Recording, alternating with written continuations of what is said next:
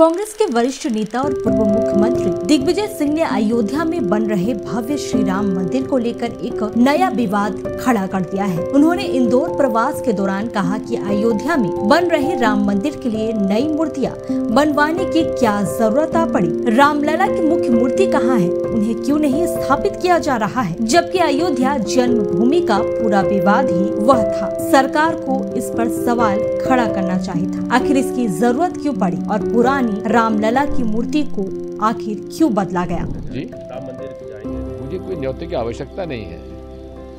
हमारे हृदय में बसे हैं भगवान राम।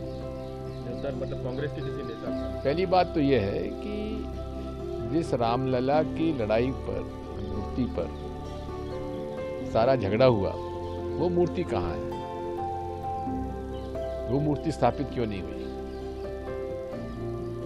नई मूर्ति कहाँ से आ रही है?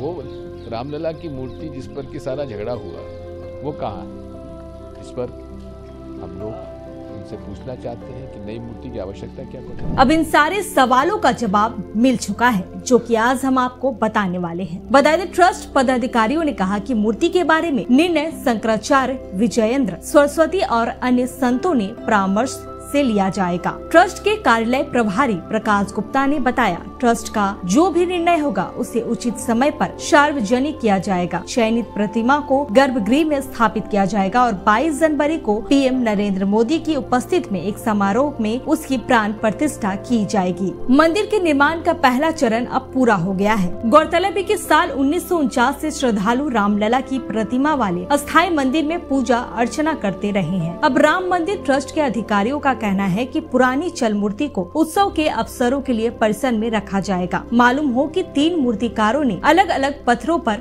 अलग अलग काम करके भगवान की मूर्तियाँ बनाई हैं। उनमें से दो के लिए पत्थर कर्नाटक से आया था और तीसरा मूर्ति राजस्थान से लाई गई, चट्टान से बनाई जा रही थी मूर्तियों की नक्काशी जयपुर के मूर्तिकार सत्यनारायण पांडे और कर्नाटक के गणेश भट्ट और अरुण योगीराज ने की थी दरअसल, यदि पुरप्पा ने सोमवार को सोशल मीडिया पर लिखा था, मैसूर के मूर्तिकार अरुण योगीराज द्वारा बनाई गई भगवान राम की मूर्ति को अयोध्या के भव्य श्री राम मंदिर में स्थापना के लिए चुना गया है, जिससे राज्य के सभी राम भक्तों का गौरव और खुशी दोगुनी हो गई है। शिल्पी योगीराज अरुण को हार्दिक बधाई। यदि पुरप्पा के बेटे और बीजेपी के प्रदेश अध्यक्ष वी वाई विजयेंद्र ने भी योगीराज की सराहना की थी। वहीं अयोध्या में 70 एकड़ में बन रहे राम मंदिर परिसर में तेरह और मंदिर बनाए जाएँगे। जी हाँ इनमें भगवान सूर्य भगवान शिव, माता भगवती, गणपति हनुमान जी के अलावा